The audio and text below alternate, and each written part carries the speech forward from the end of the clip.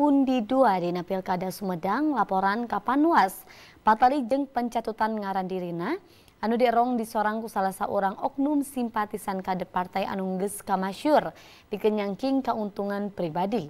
Satu tas napa laporan ti warga tur tim Sesna eta cawabub teh laporan ngenaan eta kejadian Kapanwas Sumedang.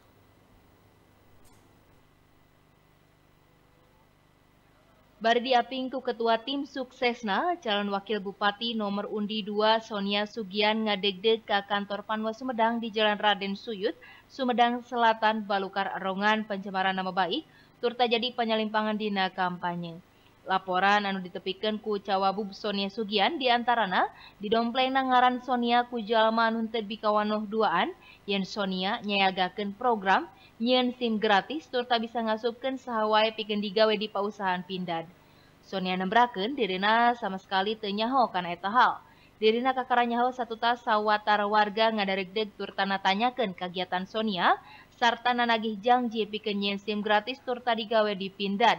Samalah sawatara warga nyetorkan sejumlah duit ka oknum anu duaan anu ngadompleng ngaran Sonia piken kepentingan pribadi program SIM gratis dari Bu Sonia. Padahal sama sekali itu bukan program saya. Itu adalah salah satu yang e, sengaja datang menyusup kepada saya, mengatasnamakan saya, dan dia yang melakukan semua itu. Tetapi secara pidana umum, orang tersebut sudah dilaporkan di Polsek Cimanggung dan sekarang juga sudah berada di dalam tahanan. Sonia gesnyaho saha dalang di satu kangen pencemaran nama baikna. Samalah salah seorang di antaranya diproses hukum di Mapolsek Cimanggung. Eta kejadian teh ngabalukarkeun pihak Sonia meredih kapan wasu Sumedang sangkan nindak lawan tandes lantaran eta hal teh dierong mangrupa bagian tina Black Campaign pikeun ngaruntagkeun ngaran hade salah seorang calon wakil bupati di Sumedang.